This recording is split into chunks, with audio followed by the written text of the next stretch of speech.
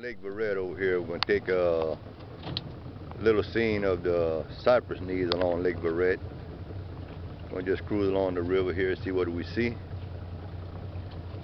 Kind of hard to tell if it's going to come out or not because of the sun and the glare.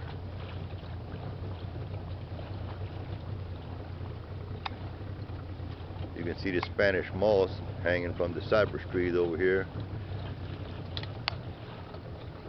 When I was younger, my daddy always uh, told me that people made a living picking up Spanish moss from the cypress trees. Picked some up myself. And when we were growing up, we actually slept on mattresses made with Spanish moss. Yeah, I remember that. Uh, that's when we were real young. Yeah, they'd dry up the Spanish moss, turn it black, get all the covering to come fall off of it, and make a mattress. That's uh, what we sleep on, on that ev- mattress. And every what, every several months, or every six months, we take it out, take all the moss out, and sort of fluff it up. Yeah, like every uh, twice a year, uh, mom would take out the mattress, open it up, we'd fluff up the the moss. It would stand up about four feet high, and shit, we'd love to jump on that thing and play with it. Yeah. See if I can get the top of the trees a little bit. Yeah, that's pretty. But they don't have the moss that uh, they used to have though. They had uh, some chemicals being sprayed in the in the field there that, that kind of killed a lot of it. Yep. But it's uh, it's coming back. Coming back a good, pretty good. You know what I like about a, uh, along a lake or a bayou, especially Lake Verret?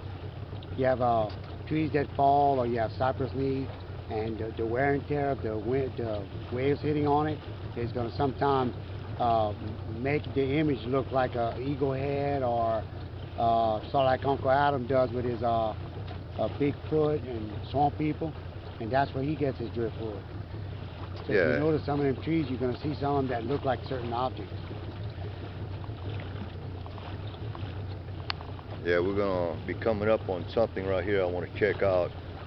I believe it's a duck blind that was made out of a cypress tree, a hollow cypress tree. I think that's the one coming up right here. Huh? We're gonna see when we get there. But we figured we'd just put a little video together and just kind of let people see the uh, Long Lake Verret there. I know a lot of people don't get to see this too often. And if you notice, the water color is green. That's the way Oh, the yeah. water is in this lake all the time because of the movement of the water. We have a lot of standing water around, so when it, when the water goes down, it all drains to the lake. There's a lot of fishing here.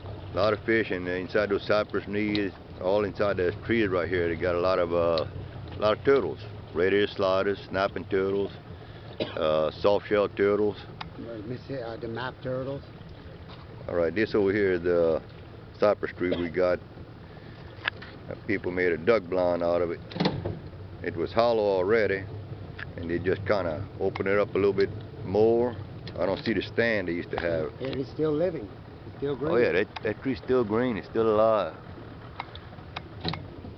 Let me get a close up. See, see the inside of that tree? You can actually make a little tree house in there.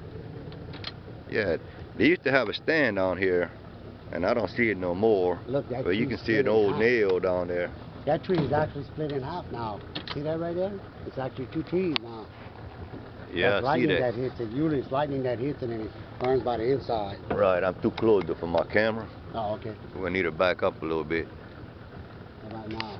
Yeah, let's go ahead and make the round of it. See, Now, these both go on the back side.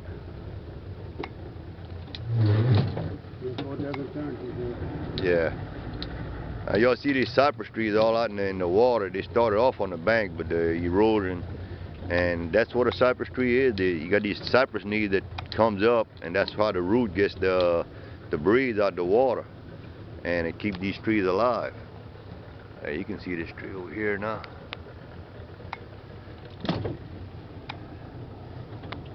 All right. Cypress tree. Yeah, you think that tree would have died, but that that tree's still alive. And I don't have a camera that zooms in or, or out. It's uh, I gotta set it before I start filming. All right, let's just make the round and see that little canal right there. We're not gonna go in it right now. And we're gonna cut this film because we don't want this to be too long. Now, you see at the end of this canal, years ago I went all the way to the end, which is a pretty long canal, and at the end there were several cypress trees that some young boys had carved their names in it. Uh, and I thought that was pretty neat, but the water's so low right now. We ain't gonna be able to get in it, fell, no. So we'd have trouble getting in. Pull up right here by that little cypress tree right there. And we're then we're gonna, path, but we have to pass on that side of that tree. yes, inside that canal. Yeah, I fished, I fished a lot of turtles inside that canal right there. Yeah. All the way at the end, snapping turtles. Daddy used to get some loggerheads back there. I filled in a lot. They still got some, but uh, They're hard to catch. yeah. All right, see that little cypress tree right here?